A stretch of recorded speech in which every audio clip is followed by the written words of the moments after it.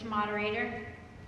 Good evening, town meeting members, school staff, community members, and my fellow elected and appointed representatives.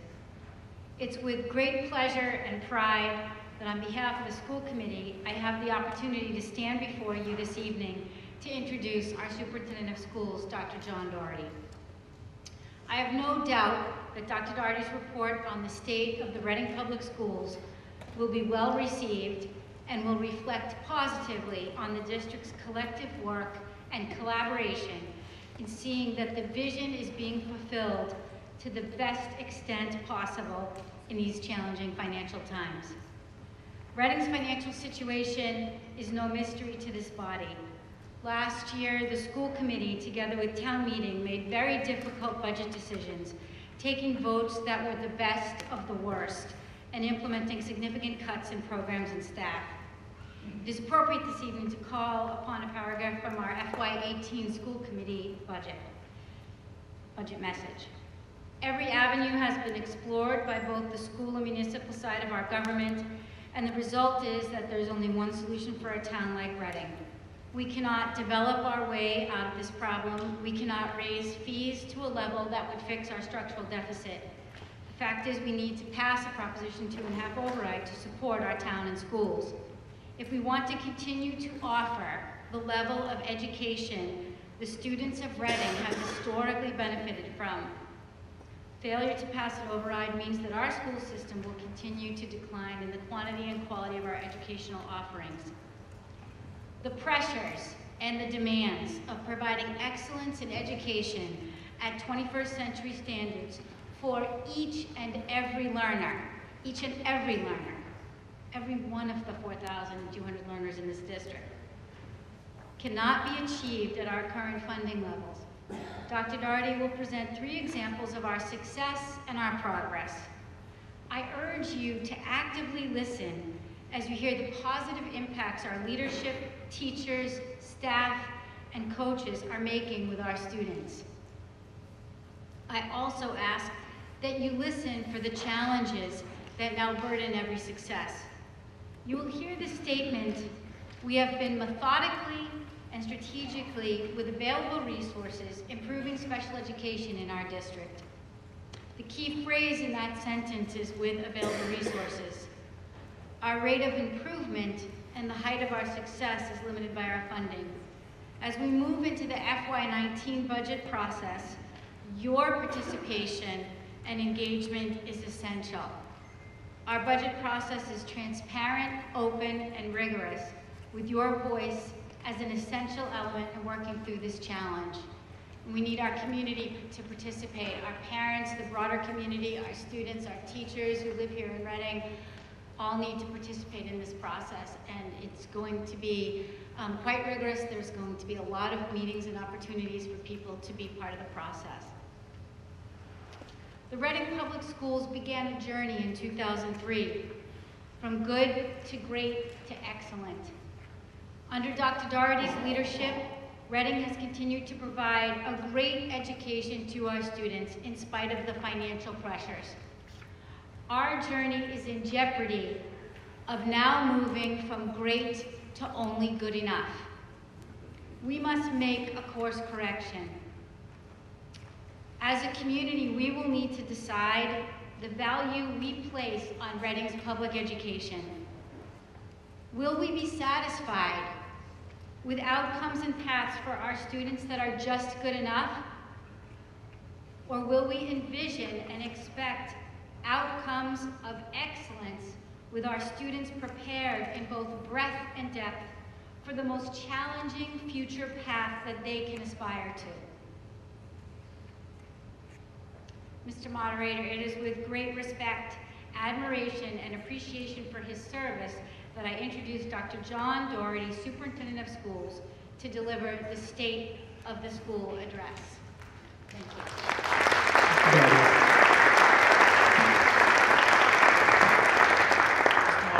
request an additional 15 minutes.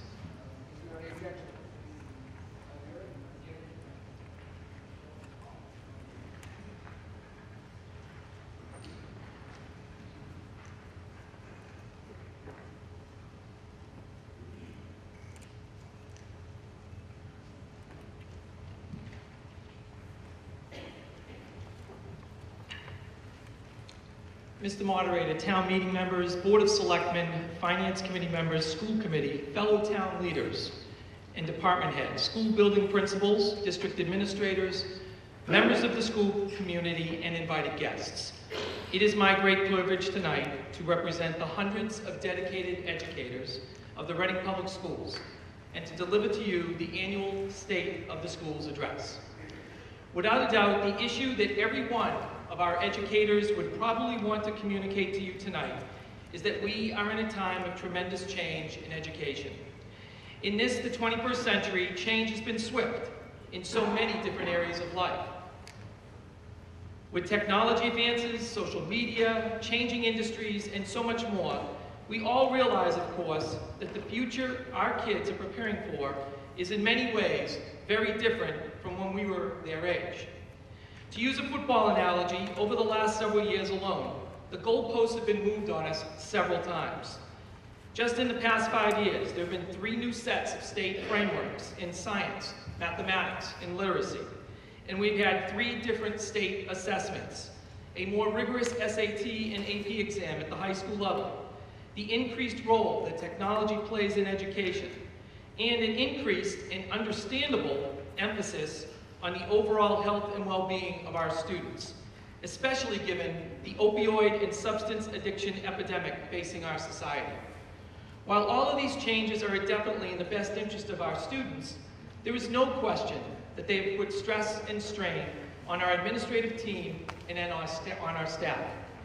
As a district that is comparatively very lean in administrative leadership, one without curriculum directors or coordinators, major changes are more challenging to navigate than for many other districts.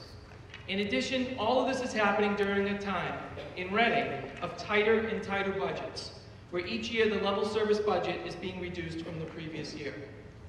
On behalf of all of our teachers and administrators, I say this only because I think it's important to recognize the challenges our staff has collectively been facing and to express extreme gratitude for their ongoing efforts. Retired journalist and famous broadcaster Tom Brokaw is quoted as saying, there is a place in America to take a stand, and it is public education. Public education, after all, is the engine that moves us as a society toward a common destiny. It is in public education that the American dream begins to take shape. I know it is with this type of passion that the teachers of Reading have been setting new goals for our district and have been working tirelessly to align to the more rigorous standards from the Department of Education. There are areas that our staff has identified as requiring significant improvement, and we are certainly facing both fiscal and organizational challenges. In spite of these challenges, however, our staff has also been making some significant progress in revitalizing our district. And I know they are grateful for your continued support toward those efforts. Through this journey over the last few years, I have certainly learned a great deal as well. Some of it the hard way, but as educators, we are also great learners. As our students know, mistakes, adversity, challenges can make us stronger and better as long as we learn from the experiences. And our administrators, teachers, and staff are now profoundly moving this district in a direction that the entire community can and should be proud of and one that will greatly benefit our children, who are the future of this community. To that end this evening, I want to give you three quick examples of where we are making significant progress in our school district, and how the educators of this community are making sure that the Reading Public Schools is poised for the future.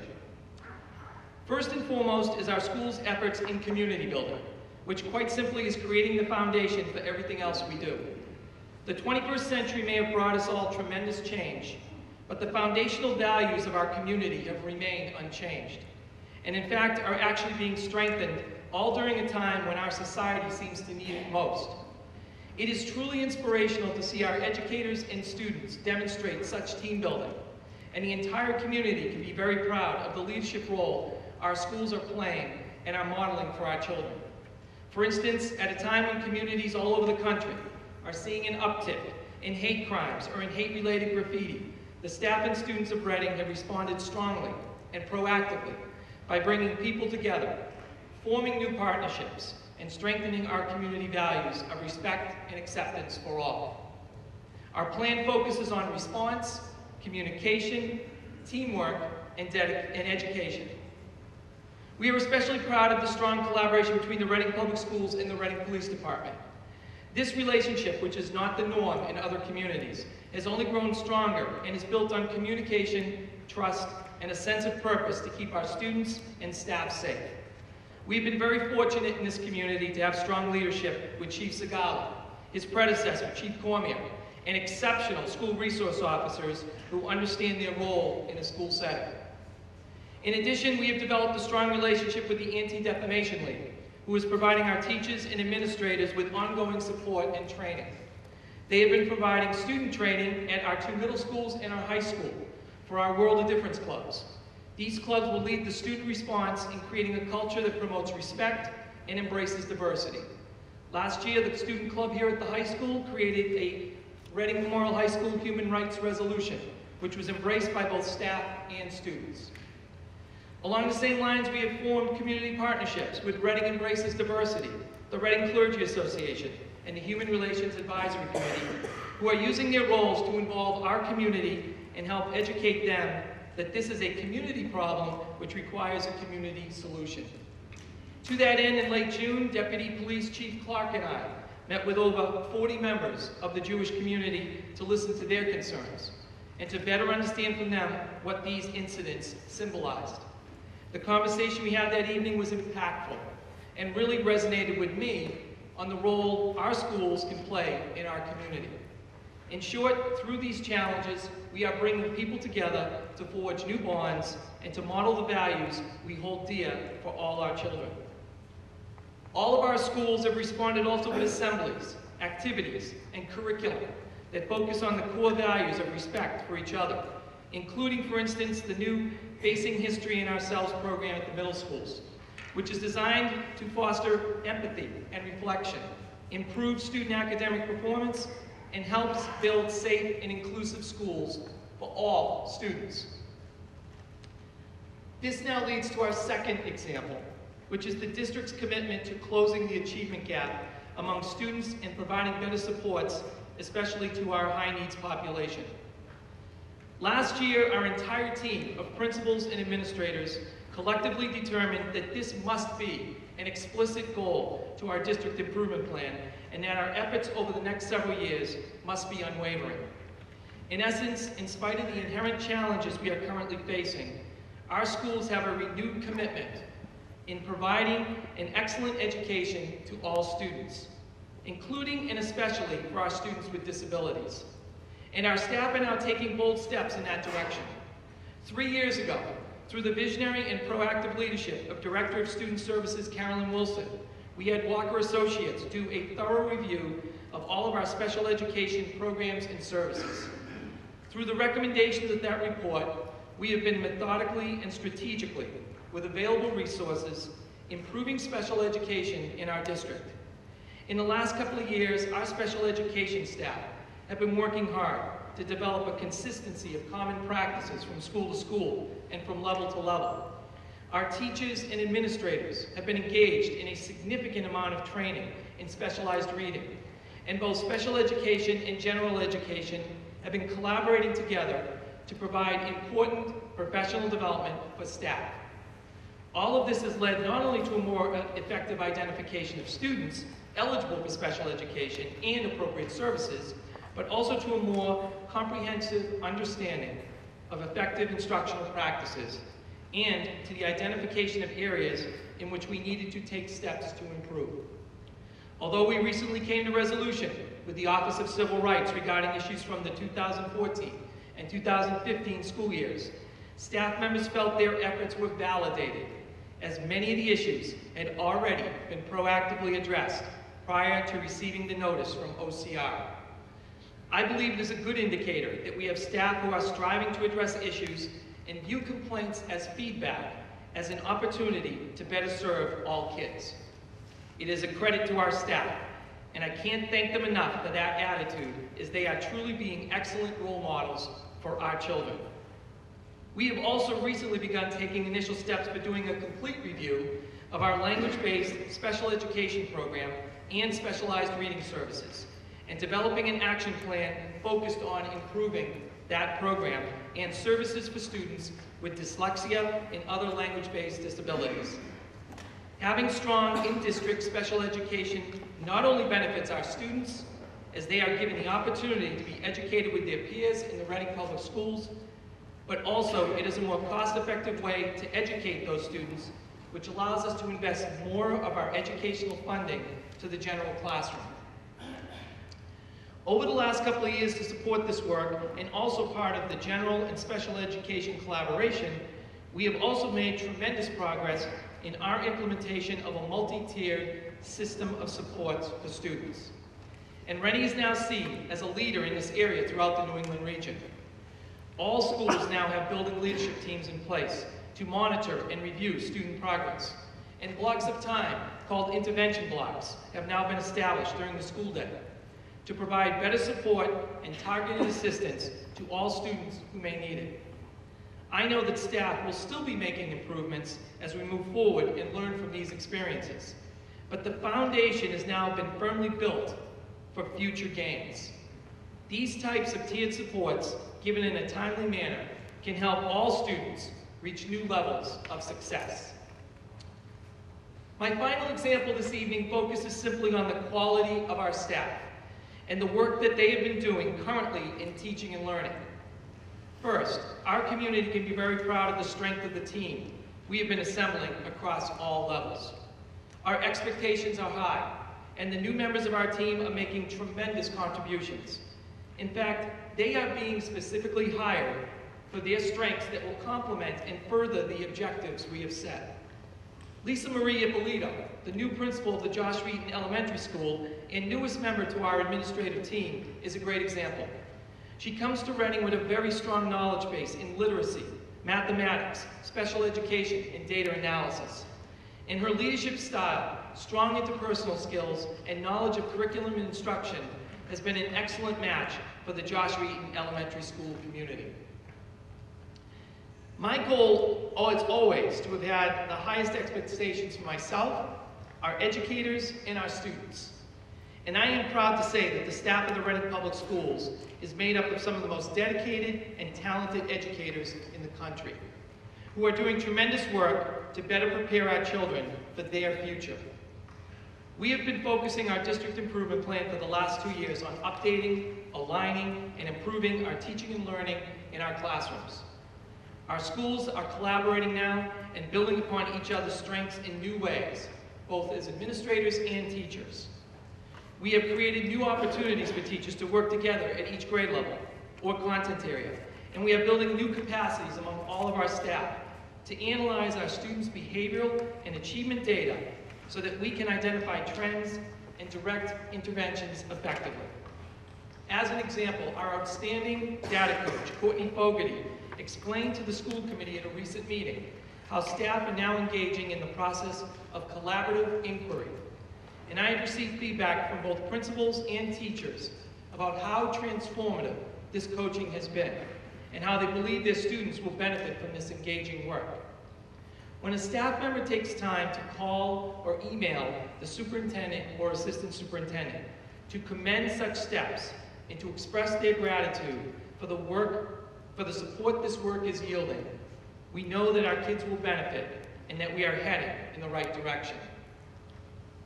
These changes positively impact all students. And if you have a child or grandchild in our school district, you may have also noticed that we've been implementing new curriculum materials over the last few years to support our staff and to align with recent changes in science, mathematics, and literacy. In addition to our strong emphasis on literacy in the elementary grades, through your town meeting support, we've been able to begin implementation of new science curriculum resources in grades K through 12 that will provide us the tools to more effectively teach to the new science and engineering standards that were recently approved by the Department of Elementary and Secondary Education. These new standards focus more on problem solving, application, and the use of critical thinking skills. All skills that are necessary for our students to be prepared for college and career. Last year, we began introducing new curriculum materials in technology in grades three through six This year, we are fully implementing new science curriculum and technology in grades 7 through 9. And it is our goal in year three to complete implementation in grades K to 2 and 10 through 12. To better align to the state's revised standards, staff have also been establishing new K through 8 curriculum documents in both literacy and mathematics. They've been engaging in professional development to support the necessary instructional shifts, and are streamlining and revising report card standards to focus even more sharply on the expectations outlined in the state framework and assessed by the state's new Next Generation MCAS, which was just piloted this last year. Our effort in collaboration is focused firmly on the core issues and evidence of student learning.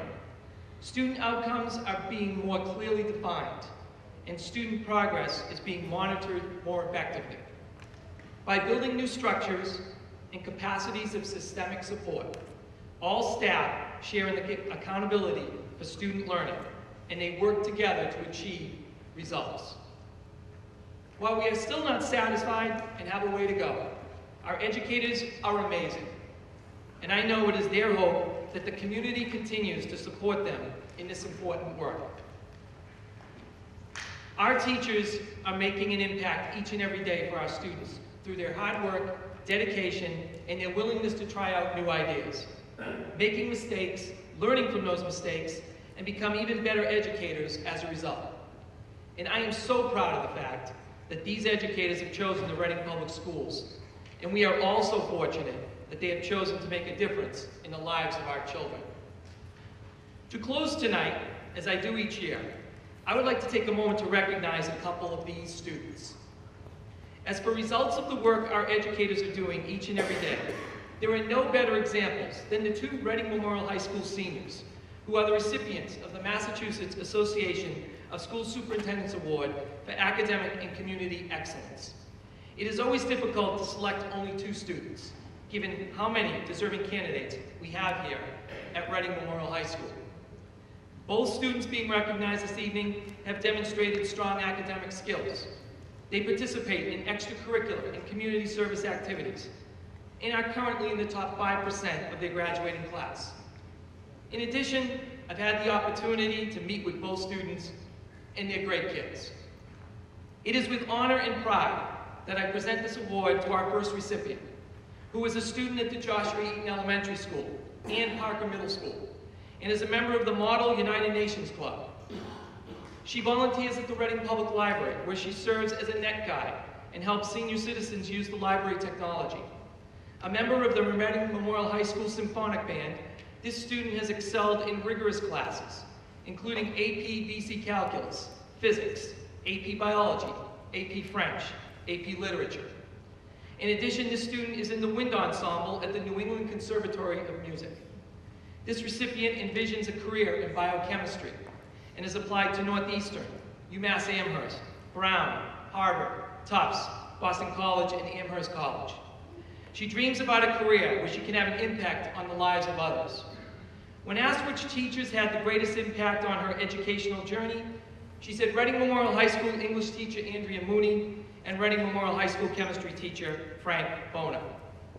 It is with great pleasure tonight that I recognize Erin Kwan. Erin, please come down to receive the 2017 Massachusetts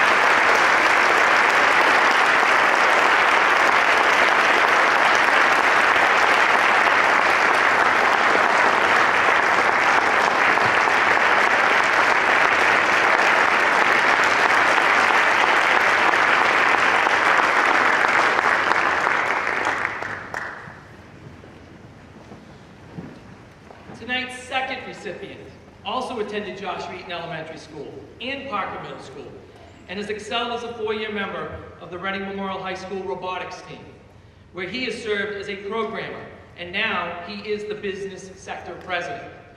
Academically, this student is a curious and engaged learner who is currently taking several high-level courses, including AP BC Calculus, AP Statistics, AP Physics, AP French, Philosophy of Literature, and Principles of Engineering. He is very involved in community service activities, teaching swimming to students at the YMCA who have developmental disabilities, and mentoring students in computer coding at Reading Public Library. Next year, he plans on majoring in computer science and is applying to MIT, Carnegie Mellon, Harvard, Northeastern, UMass Amherst, and RPI. The teacher who has had a significant impact on this student's journey is chemistry teacher Frank Bono, who turned a difficult class with a dense amount of information into a class he could freely enjoy. It is with great honor to introduce to you Matthias Kuhl. Matthias, please come down and accept the Massachusetts 2017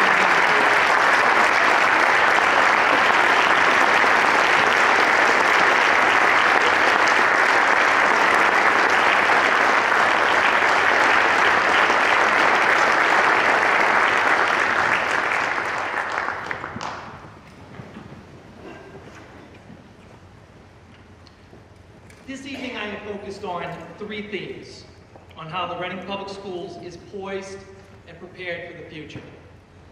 All of this is connected to the value that strong public schools can have in a community. About 20 years ago, the Association for Supervision and Curriculum Development, or ASCD as it is called, a leading educational nonprofit organization, published a memorable publication on the connection of public education and democratic society. In a town meeting such as this, a strong symbol of democracy itself, there's perhaps no better place to echo their sen- sentiments.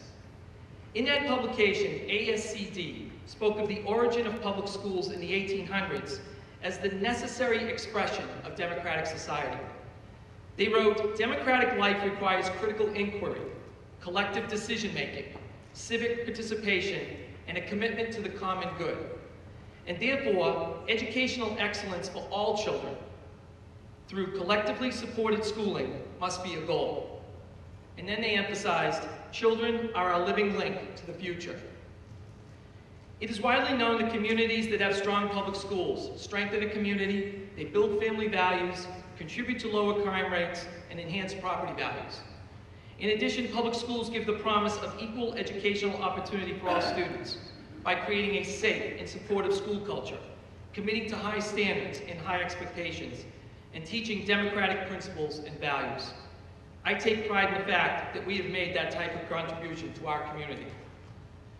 We have faced many challenges together, and one of our biggest challenges is looming on the horizon, the fiscal constraints, constraints that are facing our community. However, each and every time our community has faced a challenge, we have worked together as a team, persevered, and eventually succeeded. That is why the educators of Reading are proud to serve this community as dedicated stewards of its future and the future of our democracy. They would want you to know their goal is to make you all proud and to thank you for the privilege. As together, we continue to make Reading a place where all students are supported, a place where we develop the leaders of tomorrow, and a place where our schools can continue to provide the strong foundation for the future of this great community. Thank you.